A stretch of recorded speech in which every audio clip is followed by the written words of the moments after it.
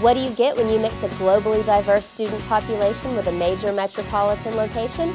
A campus teeming with options for entertainment, engagement, service, and more. There's always something going on at GSU, as you'll hear from these students. To take a deeper look into GSU, visit the full online virtual campus experience from your computer.